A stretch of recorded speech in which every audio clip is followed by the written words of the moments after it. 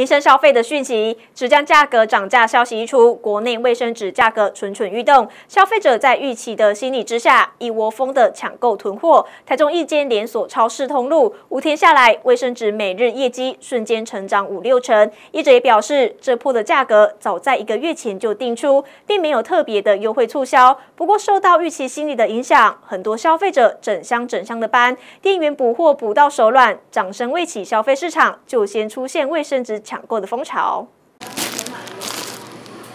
超市人员一箱箱、一袋袋的补货。最近的卫生纸在各大通路抢翻，不论是大小品牌都一样，店员补货补到手转。五天下来的业绩超惊人，连超市业者都惊呼意外。是平常的大概六倍到七倍。哦，以以我们卖场来讲，这五天的销售量啊，大概成长了一千多万。整箱的还没补，客人就一整箱就拿走了这样子。最多看过买几箱？五箱，因为修旅车一次也可能在五箱。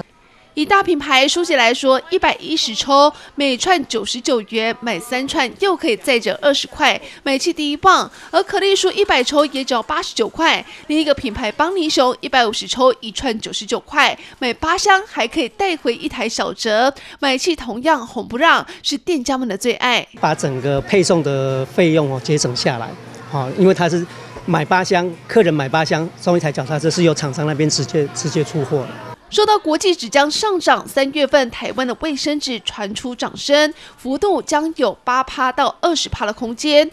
而以大小品牌来看，一包卫生纸最便宜五块就有，大牌子最贵也只要来到十多块。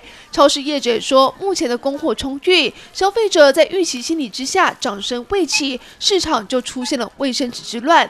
而仔细敲打计算机，在车资跟空间的成本之下，疯狂抢购究竟是划算不划算？这里这样台中采访不到。